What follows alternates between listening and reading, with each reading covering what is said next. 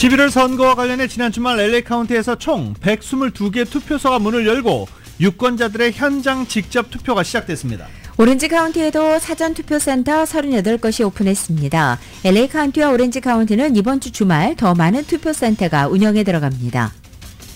해리스 부통령 캠프가 대선 캠프 막판 트럼프 전 대통령의 고령 문제를 집중적으로 부각하고 있습니다. 트럼프 전 대통령이 지난 주말 당 안팎의 유명 인사들이 출동한 가운데 민주당 텃밭인 뉴욕시 한복판에서 유세하며 막바지 세몰이를 했습니다.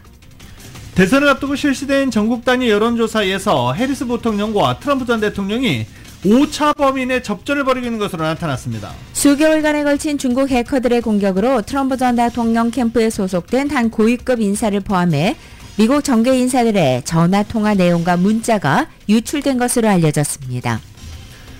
대선 경쟁이 막바지에 접어들면서 경제 보호주의에 대한 움직임이 세계 경제 회복을 저해할 수 있다는 위험이 있다는 경고가 나왔습니다. 캘리포니아주를 지역구로 하고 있는 연방 하원 의원들이 캘리포니아 내 개솔린 가격 인상에 대한 우려로 대기위원회의 정책 표결 연기를 요청했습니다. 로버트 한 LA 한인의 이사가 제37대 LA 한인회장에 단독 출마함으로써 사실상 무투표 당선이 확정됐습니다. 어제 호손 지역의 한 주택에서 열린 파티에서 총격 사건이 발생해 두 명이 사망하고 세 명이 부상했습니다. 템플시티 한 주택에서 화재가 발생해 3명이 사망하고 1명이 부상했습니다. 소방국 화재 원인 조사 중입니다. 지난해 대기 중 온실가스 농도가 사상 최고치를 기록했습니다. 특히 심각한 이, 대, 이 대기 중 이산화탄소 농도가 지구온난화를 가속시키고 있다는 지적입니다. 이스라엘이 이란 등을 겨냥한 공격을 이어가는 과정에서 미국의 영향력 축소가 여실히 드러났다는 분석이 나오는 등 미국의 국제 리더십이 한계점을 노출했다는 지적입니다. 마르크 뤼터 나토 사무총장은 북한 병력이 러시아에 이송됐고 북한군 부대들이 쿠르스크 지역에 배치됐다고 밝혔습니다. 월드시리즈 2차전에서 어깨 부상을 당한 다저스 오타니 선수가 오늘 3차전에 출전할 것이라고 로버츠 감독이 밝혔습니다. 3차전 오늘 오후 5시 8분 양키 스테디움에서 열립니다. 한국 시리즈에서는 기아 타이거즈가 삼성 라이온즈를 7대5로 꺾고 시리즈 전적 4승 1패로 우승을 차지했습니다. 한국 프로야구 최다인 역대 12번째 우승입니다. 오늘 뉴욕 증시 상승 출발하고 있습니다. 원달러 환율은 1385원으로 마감했습니다. 남가주 오늘 대체로 흐리겠고 LA 한인타운 낮 최고 기온은 69도 예상됩니다. 이 시간 주요 뉴스는 하늘 위 호텔 세계 최대 항공기 아시아나항공 A380에서 차별화된 서비스를 만나보세요. 고국까지 편안하고 안전하게 모시는 아시아나항공 제공입니다.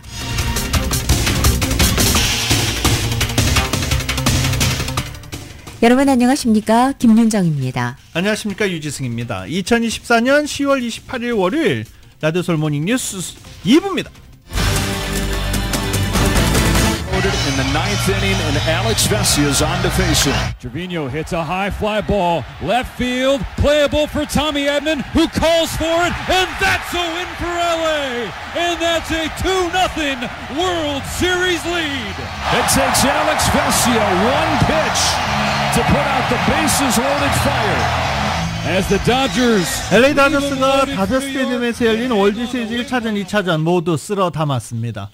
다저스는 다저 스테디움에서 열린 월드 시리즈 2차전에서도 4대 2로 승리를 거두고 1차전, 2차전 모두 승리를 거둔 것입니다. 이제 첫 두 경기를 모두 잡은 다저스 오늘부터 뉴욕에서 경기를 합니다. 월드 시리즈 3, 4, 5차전은 오늘부터 사흘간 양키 스테디움에서 열립니다. 7전 4선승제 월드 시리즈 역사상 1, 2차전을 잡은 팀이 우승한 경우 84%입니다. 이 양키즈는 그 16%에 달하지 않는 경우의 수에 도전을 하게 되는 거고요. 다저스는 월드시리즈 우승을 위해서 높은 확률 속에 뉴욕으로 떠나게 된 셈입니다. 다저스 구장에 가득 메운 관중들 대부분 주차가 어려워서 걸어서 올라가시는 분들 상당히 많아요. 그리고 버스 타고 가시는 분들 상당히 많은데 일부러 선셋 길에 있는 그 다저스 야구장 입구 있죠. 거기서 내려서 올라가시는 분들이 상당히 많습니다. 왜냐하면 거기 페르난도 발렌수엘라 추모 하는 공간이 마련됐기 때문에 거기에 들렀다가 인사를 하고 혹은 꽃이나 초를 갖다 놓거나 인형을 갖다 놓고 그리고 경기장으로 걸어 올라가는 다저스 팬들이 상당히 1, 2차전에 많았습니다. 오늘부터는 다저스와 양키즈의 월드 시리즈 3차전 뉴욕에서 열리게 됩니다. 다저스구장에서 열리는 월드 시리즈 끝난 후에 많은 사람들이 불법 도로 점거, 불법 불꽃놀이 하고 그랬었죠. 좀 성숙한 시민의식, 주민들이 굉장히 불안해해요. 네, 성숙한 시민의식 보여주기를 간절히 바래봅니다. 월드시리즈 2차전에서 왼쪽 어깨를 다쳐 교체된 슈퍼스타 오타니 소이 선수가 이 우려를 딛고 3차전 선발 라인업에 포함될 전망입니다. 다저스와 뉴욕 양키스가 맞붙는 월드시리즈 3차전은 LA 시간으로 오늘 오후 5시 8분 양키 스타디움에서 열립니다. 데이브 로버츠 다저스 감독은 양키 스타디움에서 열린 기자회견에서 오타니가 3차전에 출전할 것이라 생각한다며 오타니는 어제보다 오늘 몸 상태가 좋아졌고 내일은 더 좋아질 것이다 믿는다라고 밝히기도 했습니다. 오타니는 LA 다저 스타디움에서 벌인 월드시리즈 2차전 7회 말 2루 도루에 성공한 뒤 어깨 통증을 호소한 바 있습니다. AP통신은 오다니가 LA에서 MRI 촬영 등 정밀 검사와 치료를 받아서 다저스 동료들보다 늦게 뉴욕에 도착했다며 왼쪽 어깨 부분 탈구라는 진단이 나왔지만 다저스는 오다니가 타석에 서는데 문제가 없다고 본다라고 보도했습니다.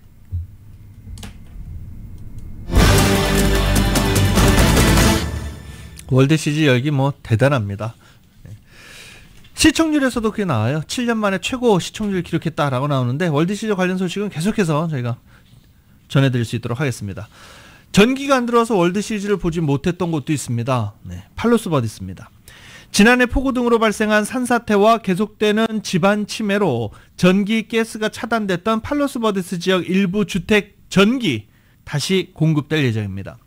토지 이동이 둔화됐다는 시 당국 발표에 따른 이번 조치는 상당수 주민들의 숨통을 트게 할 것으로 기대가 되고 있습니다. 랜초 팔로스 버디스 시 당국은 수개월 동안 전기 가스가 차단됐던 시뷰와 포르투갈 벤드 지역에 있는 28곳 주택에 전력이 복구될 것이다라고 발표했습니다.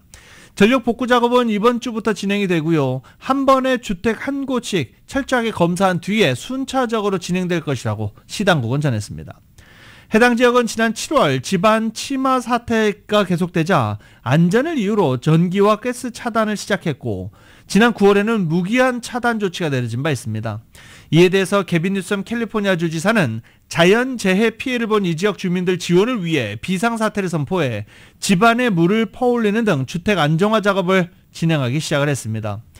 당시 뉴섬 주지사에 따르면 팔로스 버디스 페닌슐라 지역에서는 산사태 이후 일주일에 약 최대 12인치의 집안 이동이 이루어지고 있는 것으로 나타났었습니다. 캘리포니아를 지역으로 하는 연방 하원 의원들이 캘리포니아 내 가스 가격 인상에 대한 우려로 11월 8일로 예정돼 있는 가주 대기위원회 정책 표결을 연기해달라고 촉구하고 나섰습니다. 정윤호 기자가 전해드립니다. 가주 45지구의 미셸 박스틸 연방 하원의원이 주도하는 가운데 연방 하원의 캘리포니아주 출신 공화당 의원 12명 전원이 가주 대기자원위원회에 가스 가격 인상을 불러오는 환경 정책에 대한 표결을 연기해 줄 것을 요구하는 서한을 보냈다고 LA타임즈가 보도했습니다. 캘리포니아주 대기자원위원회는 당초 다음 달 8일 관련 정책에 대한 표결에 들어갈 예정입니다. 가주 출신 공화당 의원 12명은 가주의 대기자원위원회가 논의 중인 새로운 환경정책으로 소비자들의 가스값 부담이 커지는 데 대해서 대기자원위원회 측이 투명성을 제공하지 않았다고 비판하고 있습니다. 24일 발송된 의회 대표단 서한에서는 가주 대기자원위원회가 가주의 소비자들에 대한 정책 영향을 분석하고 소통하는 데 집중할 수 있도록 표결을 연기해야 한다고 밝혔습니다. 이와 관련해 대기자원위원회 측은 서한에 대해서 답변을 하지 않고 11월 8일로 예정된 표결은 주정부의 필요에 따른 것이라는 입장만 고수하고 있습니다. 대기자원위원회는 지난해 경제영향 보고서에서 검토 중인 강화된 탄소 감축 정책을 통해서 내년에 가스 가격이 갤런당 최대 47센트까지 오를 수 있다고 밝힌 바 있습니다. 하지만 그 이후에는 한 발 물러서 전기차 보급을 촉진하기 위한 새로운 정책이 가스 가격을 인상시킬 가능성이 있다고는 인정했지만 정확한 인상폭은 예측할 수 없다고 밝혔습니다. 대기자원위원회 투명성 문제는 이달 특별 입법 회기에서 초당적인 이슈가 됐습니다. 한편 24일 공화당의 로실리시 오초아 보그 가주 상원의원은 개스 가격에 대한 표결 영향과 관련해 공화당 의원들이 서명한 질의 목록에 대해서 가주 대기자원위원회가 답변을 하지 않고 있다며 지적하는 보도자료를 발표했습니다. 민주당의 마이크 깁슨 하원의원은 민주당이든 공화당이든 누구라도 서한에 대한 답변을 받지 못하는 것은 용납할 수 없다며 대기자원위원회에 비판하는 목소리를 냈습니다. 라디오 서울 뉴스 정현호입니다. 최근 육류와 육류 가공품, 냉동식품과 햄버거에 이르기까지 식탁에 오르는 식품들이 잇따라 박테리아에 오염돼 사망자와 입원 환자가 발생하는 등 먹거리 한잔에 비상에 걸렸습니다. 맥도날드 E. coli 대장균 감염 사태에 이어서 코스코에서 판매되어 온 훈제 연어와 닭고기, 냉동 와플 등 제품들도 리스테리아균 오염 가능성을 이유로 대량 리콜 조치에 들어갔습니다. 특히 한 명의 사망자가 발생한 맥도날드 E. coli 감염 사례는 75건까지 늘어났고 조사 결과 캘리포니아 식품 공장에서 납품한 양파가 원인이었던 것으로 나타나기도 했습니다. 코스코도 훈제 연어와 닭고기가 들어간 즉석 식품 그리고 냉동 와플을 리콜 조치했기 때문에 이 코스코에서 이 냉동 제품 훈제 연어 즉석 식품 냉동 와플 이렇게 구입하신 분들은 내 제가 산 제품이 리콜 대상인지 확인해 보시고 즉각 예, 반품하시기 바랍니다. 환불 조치 받으실 수 있습니다.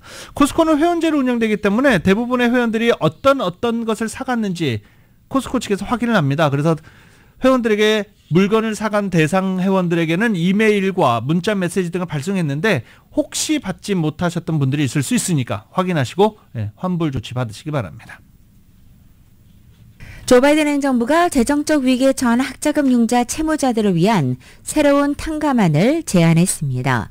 지난 25일 연방교육부는 자연재해나 갑작스러운 의료비 등으로 인해 극심한 재정적 어려움을 겪고 있는 학자금 융자 대출자를 대상으로 부채를 탕감해주는 새로운 계획을 발표한 것입니다. 교육부는 새로운 탕감 계획이 실현될 경우 약 800만 명이 학자금 융자에 따른 부채를 탕감받을 수 있을 것으로 추산했습니다. 교육부는 새 탕감안을 수주 안에 연방관보에 게시하고 내년에 최종 규정을 확정한다는 방침입니다. 다만 새로운 탕감안이 현실화될지는 미지수입니다. 그동안 다른 학자금 융자 탕감 정책과 마찬가지로 법적 공방을 피할 수 없을 것으로 보이기 때문입니다. 인터넷과 스마트폰 보급 확산 속에서 해킹과 피싱 사기 등 다양한 사이버 범죄로 인한 피해도 늘고 있는 가운데 한인들에게 이 같은 온라인 범죄 심각성을 강조하고 예방하는 세미나가 오늘 열립니다. LA 한인회는 한인 검사협회와 공동으로 사이버 범죄 예방 세미나 오늘 오후 5시 30분부터 LA 한인회관에서 갖는다고 밝혔습니다. 오늘 세미나에는 연방수사국 FBI의 LA 지역 사이버팀 소속 한인 마이클 손 special agent, LA 검찰의 가브리엘 김 검사가 강사로 나와 사이버 범죄 사례들을 제시하고 피해를 예방할 수 있는 대처법 등을 상세하게 설명할 예정입니다. 오늘 세미나 오후 5시 30분부터 LA 한인회관이고요. 한국어 통역도 제공됩니다.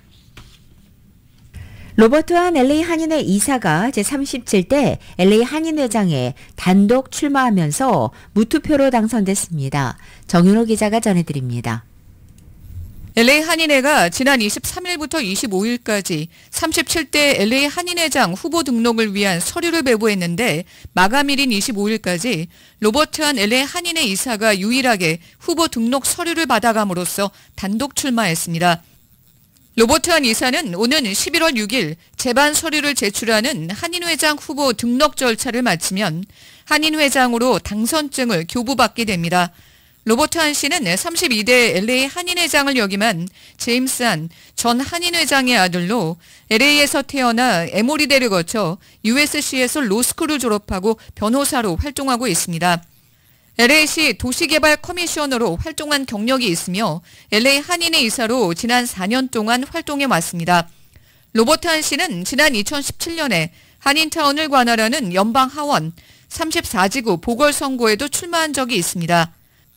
이로써 LA 한인회는 36대 현 제임스한 LA 한인회장에 이어서 2세가 한인회장을 맡게 되면서 2세 한인회장 체제로 유지되게 됐습니다. 새 한인회장 임기는 내년 1월 1일부터입니다. 라디오 서울 뉴스 정현호입니다. US 메트로은행의 올 3분기 순이익이 전분기 및 전년 동기 대비 모두 감소한 것으로 나타났습니다. US 메트로은행의 지주사인 US 메트로 뱅콥이 지난 25일에 발표한 2024년 3분기 실적에 따르면 은행은 올 3분기 174만 달러 순이익을 기록했습니다. 이 같은 순이익은 직전 분기에 219만 달러 대비 20.3%, 전년 동기인 2023년 3분기에 231만 달러와 비교하면 24.6%가 감소한 겁니다.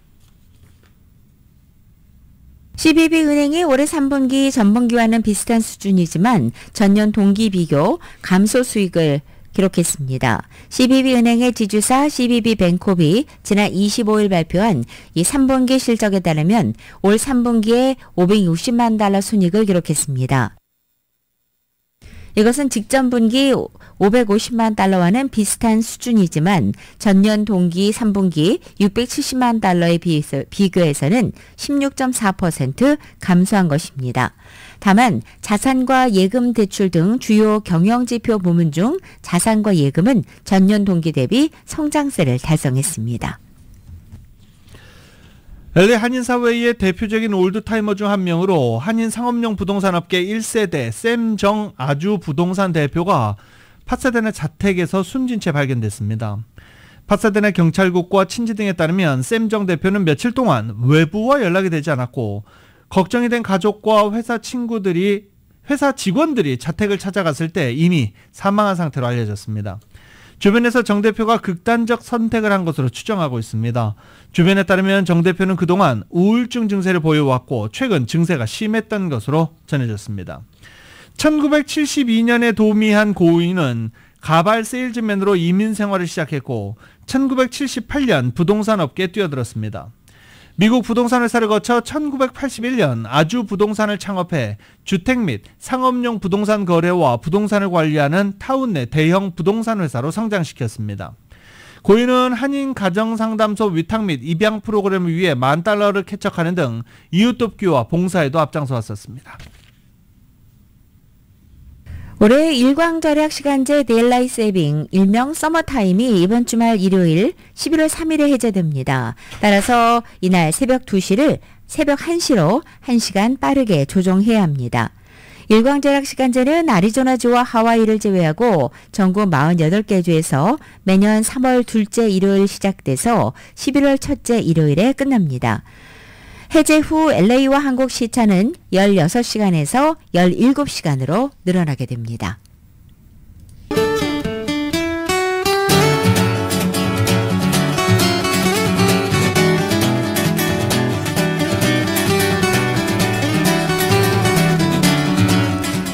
10월 28일 월요일 남가주의 날씨입니다. 10월의 마지막 주간을 시작하는 오늘 아침 출근길은 옷차림을 어제와는 다르게 하셔야겠습니다.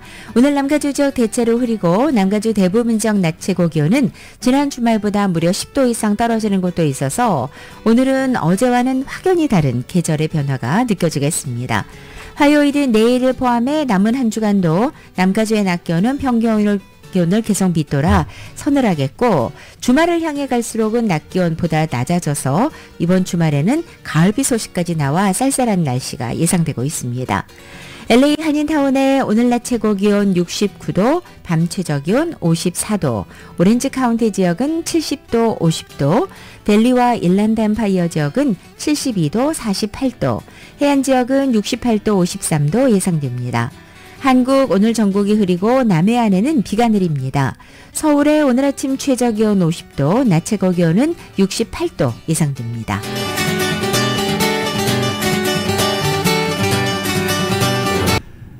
LA 카운티 조기 투표소 오픈됐습니다. 지난 토요일부터 오픈이 됐죠. 그리고 다운타운 뭐 도시 곳곳에 이 선거소, 선거 투표소라는 팻말이 곳곳에 나붙기 시작을 했습니다. 그동안 우편으로 발송하거나 drop box에 우편 투표 투표용지를 drop하는 사전 투표는 이미 진행돼 왔지만 현장에서 직접 투표할 수 있는 현장 투표소가 오픈한 것은 이날 토요일 처음이었습니다. LA 카운티에 총 122개 투표소가 오픈을 했고요. 투표소 오픈 시간은 오전 10시부터 오후 7시까지입니다. LA 카운티 주민들은 거주지 주소와 관계없이 아무 투표소에서나 투표할 수 있습니다. 예를 들어서 오렌지 카운티에 거주하시는데 LA 다운타운으로 출퇴근하시는 분들 점심시간에 뭐 잠깐 투표하고 올까? 라고 해서 가서 투표하고 오실 수 있습니다. 다음 주말 11월 2일에는 LA 카운티 내에 648군데 의 투표소가 추가로 오픈할 예정입니다. 그리고 선거날인 11월 5일에는 뭐 당연히 모든 투표소가 오픈을 하고요. 투표소 운영 선거날은 오전 7시부터 오후 8시까지입니다. 유권자 등록을 미처 못한 경우에는 투표소에서 유권자 등록하고 투표할 수 있습니다. 민주당 대선 후보 카말라 해리스 부통령의 고향이자 정치적인 텃밭인 LA의 유력 일간지 LA 타임즈가 해리스에 대한 지지 선언 계획을 철회해 그 후폭풍에 휘말렸습니다. 대선을 열흘 앞뒀던 26일 LA타임즈가 편집위원회 차원에서 해리스 부통령 지지를 선언할 예정이었지만 사주인 패트릭 순시옹 박사 일가의 반대로 계획을 전면 철회했다라고 뉴욕 타임즈가 보도한 것입니다.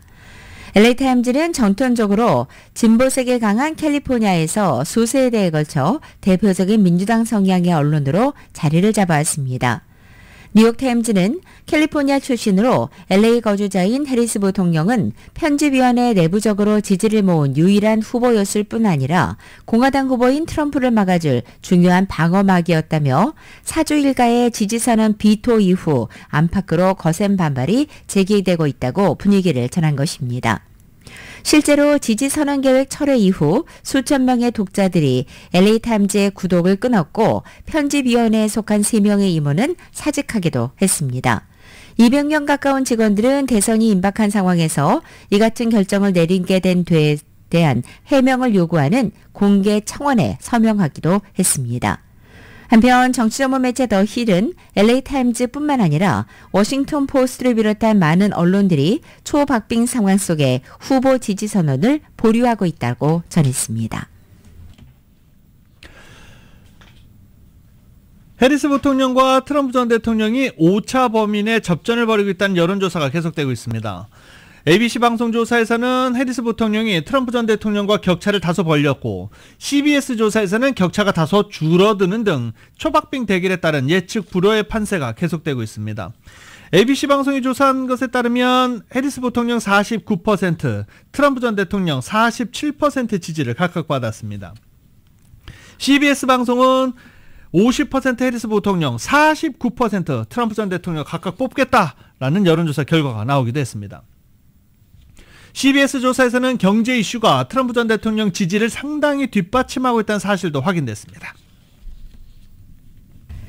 카말라 해리스 부통령이 대선을 9일 앞둔 어제 핵심 경합주인 펜실베니아를 찾아서 이른바 집토끼 결집을 위한 드라이브를 걸었습니다. 조 바이든 대통령이 2020년 대선에서 8만 표 차로 이긴 펜실베니아의 최대 도시이자 민주당의 텃밭인 필라델피아에서 흑인 교회와 이발소, 서점, 식당 등을 방문해 바닥 표심을 다지고 유세를 통해 지지층의 투표를 독려한 것입니다. 해리스 부통령은 어제 유세 중 이번 대선에서 처음으로 투표하는 젊은 유권자들을 별도로 특정해 거론하며 투표를 호소하기도 했습니다. 해리스 부통령은 이날 오전 필라델피아 한 흑인교회 예배에도 참석했고 예배 후 기자들에게 우리가 승리로 가는 길에 필라델피아는 매우 중요한 부분을 차지하고 있다며 펜실베니아는 의심의 여지 없이 대선 승리의 열쇠가 될 것이라고 말하기도 했습니다. 해리스 부통령은 이어서 교회 인근 필라델피아 서부의 한 이발소를 방문해 흑인 남성들과 교육 분야에서 인종적 대표성 개선 방안 등에 대해서 의견을 교환했습니다. 이어 흑인 역사 전문 서점을 찾았고 이후 푸에르토리코 식당도 방문했습니다. 해리스 부통령은 오늘은 미시간 그리고 30일에는 노스캐롤라이나, 펜실베니아, 위스컨신 등에서 유세할 예정입니다. 특히 미스칸과 위스컨신 유세 등은 유명 가수가 참여할 예정입니다. 또 29일에는 이른바 최후 변론 제목의 연설을 백악관 앞 엘립스 팍에서 진행합니다. 트럼프 전 대통령이 어제 당 안팎의 유명 인사들이 총출동한 가운데 뉴욕시 한복판에서 유세하고 막바지 새몰이를 했습니다. 뉴욕시는요 민주당 텃밭입니다. 그런데 왜 여기서 했을까요? 트럼프 전 대통령이 대선 승패를 결정하는 경합주 대신 사실상 적진에서 공화당 전당대회를 방불케 하는 이벤트를 개최한 것은 뉴욕 태생인 트럼프 전 대통령의 개인적인 희망 그리고 장소가 갖는 상징성이 주는 홍보 효과 때문으로 분석됩니다. 어제 유세에서 사실상 그동안 선거운동 하지 않았던 멜라니아 여사도 처음 나와 지지 유세를 하기도 했습니다. 트럼프 전 대통령은 가프레스 더 USA 이 가수 리 그린우드가 직접 노래를 부른 가운데 멜라니아 여사 소개로 메디슨 스퀘어 가든 연단에 섰습니다. 네, 그 유명한 메디슨 스퀘어 가든 맞습니다. 11월 우리는 미국을 구할 것이라며 미국에서 짓고 미국산을 사고 미국인을 고용할 것이다 등등이라고 얘기했습니다. 또 미국으로 들어오는 불법 이민 범죄자 침략을 중단시킬 것이며 아메리칸 드림을 다시 되살릴 것이라며 이것은 모두 여러분 손에 달려 있다라고 말하기도 했습니다. 트럼프 전 대통령은 경제, 물가, 이민, 범죄 등의 분야에서 해리스 부통령을 신랄하게 비판하기도 했습니다. 또 우리를 3차 대전으로 이끌 것이다라고 주장하기도 했습니다. 멜라니아 여사는 트럼프 전 대통령 발언 직전에 등장해 이 도시 뉴욕은 세대에 걸쳐 세계에서 가장 용감한 지도자를 배출했으며 그들의 업적은 세계의 흐름을 바꿨다며 뉴욕에서 태어나고 자란 트럼프 전 대통령에 대한 지지를 호소했습니다. 뉴욕 퀸즈 출신이자 리얼리티 TV쇼 스타이기도 한 트럼프 전 대통령은 오랫동안 일종의 꿈의 무대 메디슨 스퀘어 가든에서 행사를 개최하고 싶다는 뜻을 사적으로 피력해왔다고 AP통신은 보도하기도 했습니다. 뉴욕시는 민주당 강세 지역이기 때문에 행사 개최 자체가 지역 내 유권자 표심을 직접 겨냥한 것은 아니지만 메디슨 스퀘어 가든 유세는 전국적 스포트라이트를 받을 수 있기 때문에 경합주에도 도움이 될 수 있을 것으로 분석되고 있습니다. 어제 시작된 행사 5시쯤 시작됐는데 찬조 연설이 2시간여 동안 진행됐습니다. 그리고 다행이었던 게 어제 월드 시리즈도 없었습니다. 스포츠 경기 없었기 때문에 다행이었죠. 연설자로는 부통령 후보인 제이디 벤스 상원 의원, 비백 라마스와미 전 대선 후보 등 당내 인사와 장남 도널드 트럼프 주니어, 차남 에릭 트럼프 부부 등이 가, 어, 가족들이 나섰습니다. 그리고 관심을 끌었던 일론 머스크 테슬라 CEO 역시 나섰습니다. 여러분이 알고 있는 그 일이 일어나지 않도록 하기 위해서 큰 격차로 승리해야 된다 라면서 트럼프 전 대통령을 지지했습니다. 카말라 해리스 부통령 캠프가 대선 레이스 막판 경쟁자 트럼프 전 대통령의 고령 문제를 집중 부각하고 있습니다. 78세인 트럼프 전 대통령의 건강과 인지력에 대한 집중 포화는 3개월 전 조 바이든 대통령에 대한 트럼프 캠프의 공격을 연상시킨다라는 지적까지 나올 정도입니다. 어제 워싱턴 포스트에 따르면 해리스 캠프는 SNS 계정을 통해서 유세나 인터뷰 도중 트럼프 전 대통령의 말실수 영상 등을 반복적으로 소개하고 있다는 것입니다.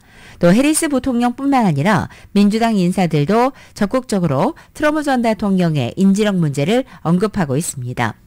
버락 오바마 전 대통령도 트럼프 전 대통령의 돌발 상황을 공격 소재로 삼기도 했습니다.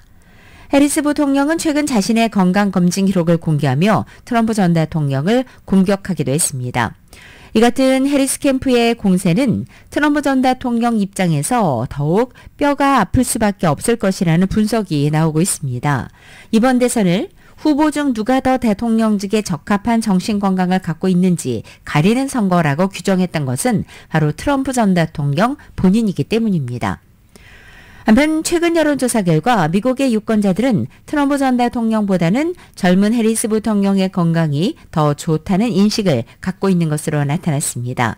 하지만 두 후보 가운데 누가 더 강한 지도자인가라는 질문에 대해서는 트럼프 전 대통령을 선택하는 유권자가 더 많은 것으로 확인됐습니다. 내가 열심히 도와줄게. 걱정하지 마. 아니야. 집에서 그냥 쭉 쉬세요. 네, 바이든 대통령 얘기입니다. 바이든 대통령이 해리스 부통령을 위해서 선거 운동을 하고 싶어 하지만 해리스 캠프가 원치 않는다고 악시오스가 보도했습니다. 해리스 캠프는 대선이 결정적인 시기에 진입한 상황에서 바이든 대통령이 정치적 부담이 될 수 있다고 판단해 그와 거리를 두려고 하지만 바이든 대통령의 지원 제안을 직접 거절하는 것을 주저하고 있다는 것입니다. 해리스 캠프가 바이든 대통령의 그간 공로는 존중하지만 해리스 부통령이 인기 없는 바이든 대통령과 엮이는 것은 경계하고 있다라는 것입니다. 바이든 대통령의 국정 운영 지지율 39%입니다. 바이든 대통령은 그동안 참, 참모들을 선거운동을 위해서 여러 날을 비워뒀지만 해리스 캠프가 부르질 않습니다. 그러면서 현재까지 선거일 9일 남은 상황에서 함께 유세하는 일정 없습니다. 바이든 대통령의 참모들은 선거 막바지에 바이든 대통령이 해리스 부통령에게 힘이 될 수 있다라고 믿고 있지만 해리스 캠프 측은 그러지 않은 것 같습니다. 대선에서 트럼프 전 대통령 지지자들의 막말 유세가 역풍을 부를 것이라는 주장이 나왔습니다. 뉴욕 메디슨 스퀘어 가든에서 어제 열린 트럼프 전 대통령 유세에서 찬조 연설자로 등장한 코미디언 토니 힌치클리프는 푸에리토리코를 쓰레기 섬이라고 언급한 것입니다. 여기서 문제는 이번 대선의 승패를 가를 경합주 가운데서도 가장 영향력이 큰 것으로 분석되는 펜실베니아는 바로 푸에르토리코 출신 유권자가 미국에서 가장 많은 주로 꼽힌다는 것입니다. 힌치클리프의 발언이 논란이 될 조짐을 보이자 트럼프 캠프 측은 성명을 내고 문제의 농담은 트럼프 전 대통령의 시각이나 입장과는 무관하다라고 선을 그었습니다. 하지만 어제 유세에서는 뿌에르토리코는 쓰레기 섬이라는 발언 외에도 트럼프 캠프 선거 운동에 자충수가 될 만한 발언이 적지 않았습니다. 역시 어제 찬조 연설자로 등장한 억만장자 사업가 그랜트 카더는 카말라 해리스와 그녀를 움직이는 포주들이 미국을 망칠 것이라고 말했습니다. 바로 해리스 부통령을 성매매 여성으로 비유한 것입니다. 또 트럼프 전 대통령의 어린 시절 친구였던 데이비드 램은 해리스 부통령을 악마와 적그리스도라고도 불렀습니다. 이와 함께 크리 트럼프 전 대통령의 최측근 언론인으로 불리우는 터커 칼슨 전 팍스뉴스 진행자는 해리스 부통령을 사모아 말레이시아계이며 낮은 지능을 지닌 캘리포니아주 검사로 표현하기도 했습니다. 자메이카와 인도계 혼혈이라는 해리스 부통령의 인종적인 정체성을 일부러 무시한 것입니다. 이 같은 상황에서 마지막 순서에 연단에 오른 트럼프 전 대통령은 자신이 다양한 인종으로부터 폭넓은 지지를 받고 있다고 주장한 뒤 공화당이 진정으로 포용하는 정당이 됐다고 말했습니다.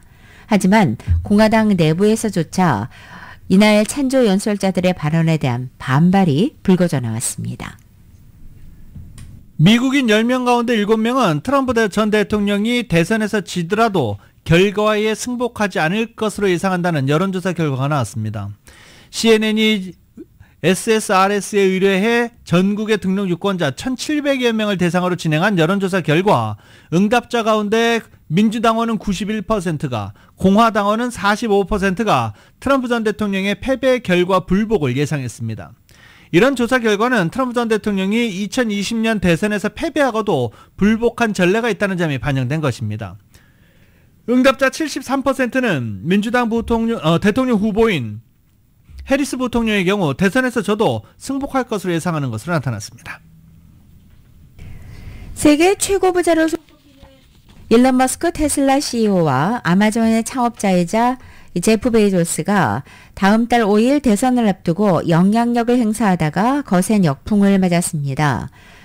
베이조스는 자신이 소유한 유력 일간지 워싱턴 포스트에 입김을 행사해서 그동안 이어지던 전통을 깨고 민주당 후보 카말라 해리스 부통령 지지 사설을 kill, 즉 삭제했다는 것이 알려지며 거센 비판을 받고 있는 것입니다.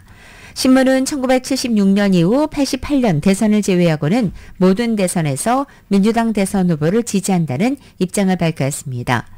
워싱턴 포스트는 같은 날 별도 기사를 통해서 기자 두 명이 해리스 후보 지지를 선언하는 사설 초안을 작성했지만 이를 게시하지 않았다며 그 결정은 사주인 아마존 창업자 베이조스가 내렸다라고 밝혔습니다.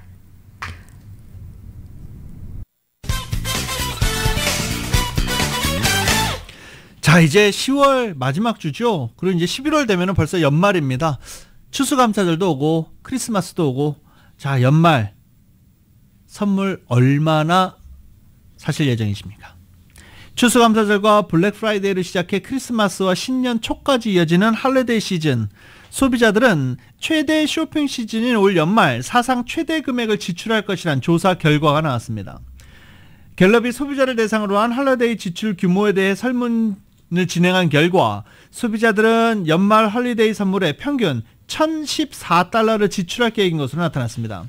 이는 지난해 923달러보다 91달러 늘어난 것이며 역대 최대치를 기록했던 2019년 942달러보다 72달러가 많은 것입니다. 갤럽에 따르면 이번 헐리데이 시즌 소비자들의 38%가 1000달러 이상을 지출할 것이라고 답했고 23%는 500달러에서 999달러 사이, 31%는 500달러 미만을 쓸 계획이라고 응답했습니다. 나머지 7%는 지출 계획이 없다고 답했습니다. 연말 holiday 시즌 가족의 선물을 사기 위해서 지갑을 여는 시기입니다. 아, 1000달러를 넘었다. 역대 최고 금액이다. 라는 이면에는 인플레이션, 물가가 그만큼 상승했다는 것이 작용합니다. 11월 5일 대선 이후에 인플레이션 위험이 더 커질 것이라는 우려의 목소리가 나오고 있습니다. 공화당 대선 후보 트럼프 전 대통령과 민주당의 카말라 해리스 부통령 모두 대규모 재정 지출을 단행하겠다고 약속한 가운데 경제학자들은 트럼프의 공약이 물가 상승을 촉발할 위험이 더 큰 것으로 판단하고 있습니다. 내년에도 대출 비용과 물가 상승세가 계속 완화될지는 트럼프나 해리스의 정책 선택에 따라 크게 달라질 수 있습니다. 두 후보 모두 경제 성장을 촉진하기 위한 정책을 지지하고 있는데 이런 정책은 인플레이션의 추가 완화를 막는다는 게 이 월스트리트저널의 설명입니다. 특히 경제학자들과 보수 성향 전문가들은 트럼프가 내놓은 공약이 인플레이션의 불씨를 지필 위험이 더 있다고 우려합니다. 재계와 경제학계 인사들은 트럼프가 수입품에 부과할 고율 관세 비용을 미국 소비자들이 고스란히 부담할 것이라는데 동의하고 있기 때문입니다. 트럼프 전 대통령이 삼성전자와 SK 하이닉스 등 세계 반도체 기업이 미국에 투자하도록 보조금을 지급하는 반도체법을 비판하고 반도체에 대한 관세 부과를 대안으로 제시했습니다. 트럼프 전 대통령은 팟캐스트에 출연해 반도체 거래는 정말 나쁘다라고 평가했습니다. 우리는 부자 기업들이 와서 돈을 빌려서 여기에 반도체 기업을 설립하도록 수십억 달러를 대는데 그들은 어차피 우리한테 좋은 기업들은 주지 않을 것이다 라고 주장했습니다.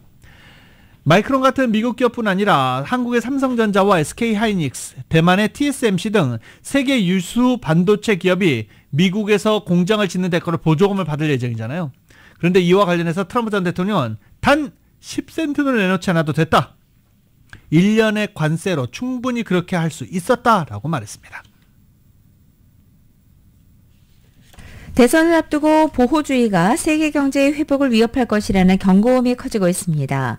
미국 대선 경쟁이 막바지에 접어들면서 경제 보호주의에 대한 놀라운 움직임이 세계 경제 회복을 저해할 위험이 있다고 국제 경제계 고위 인사들이 경고하고 나선 것입니다.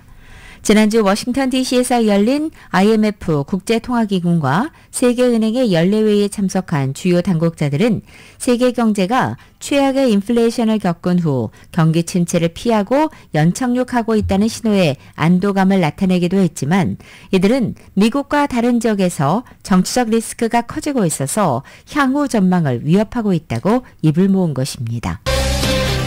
자드솔 모닝뉴스 스포츠 소식입니다. 스포츠 소식은 전문가가 추천하는 이민법과 가정법 전문 제인정 종합법률사무소 제공입니다. LA 다저스와 뉴욕 양키스 간의 월드 시리즈 3차전 오늘 오후 5시 8분에 시작됩니다. 전에도 말씀드렸죠. 1차전부터 7차전까지 5시 8분 똑같은 시간에 펼쳐집니다. 장소는 다저스 스테디움, 양키스 스테디움 이렇게 바뀌긴 하는데 시간은 똑같습니다. 최고의 시간이죠. 5시 8분. LA 사람들도 뭐 충분히 볼만하고 뉴욕 사람들도 충분히 볼 수 있는 8시 시간대 프라임 타임입니다. 네. 그리고 월드 시리즈 인기가 지금 뭐 하늘을 치솟고 있으니까 하늘을 찌르고 있으니까 네, 한번 보십시오. 1차전, 2차전 드라마 같은 소설로 써도 그렇게 유치하게 소설을 쓸 수밖에 없는 그렇게 쓰지 않는 그런 상황들이 연출되고 있습니다. 그런데 그게 또 현실로 나타나면 감동이 배가 되죠. 굉장히 재밌습니다. 자, 이런 가운데 한국 시리즈는 오늘 오전에 마무리가 됐습니다. 기아 타이거즈가 7년 만에 한국 시리즈 우승에 우승컵을 들어올렸습니다. 정규리그 1위 팀 기아 타이거즈는 삼성 라이온즈와의 5차전에서 1대5로 뒤지다가 1대5 양현종 선수가 오늘 선발로 나와서 5실점 했을 때만 해도 아 오늘은 힘들겠다라고 했는데 1대5로 뒤지다가 후반 맹렬한 추격전을 펼치면서 7대5로 삼성 라이온즈의 역전승을 거뒀습니다. 기아는 팀 통산 12번째 우승컵을 품에 안았습니다. 한국 프로야구 최다 우승입니다. 2024년 10월 28일 월요일에 전해드린 라디오설 모닝뉴스 마치겠습니다. 지금까지 진행의 유지승. 김윤정이었습니다. 잠시 후 9시에는 강혜신의 오늘의 미국이 방송됩니다. 함께해 주신 여러분 고맙습니다.